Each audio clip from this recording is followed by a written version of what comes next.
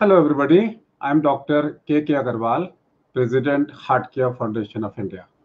We are talking about the fourth vaccine, the povidone iodine in oral gargles.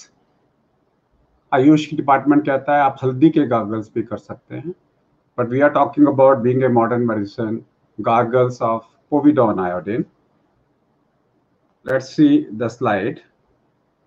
Let's remember it by the formula of 20. That means formula of 20 in the year 2020.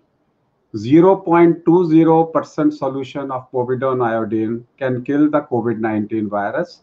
It's not my study, it's a literature which talks about. Enough literature is available on this.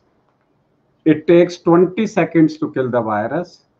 The effect lasts for minimum 20 minutes up to two hours.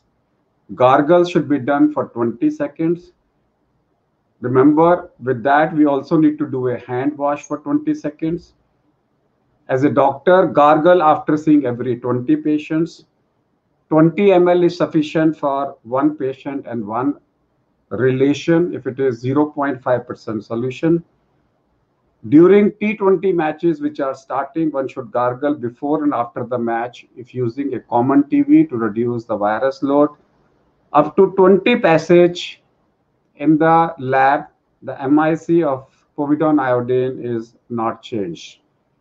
This slide is not talking about any commercial product.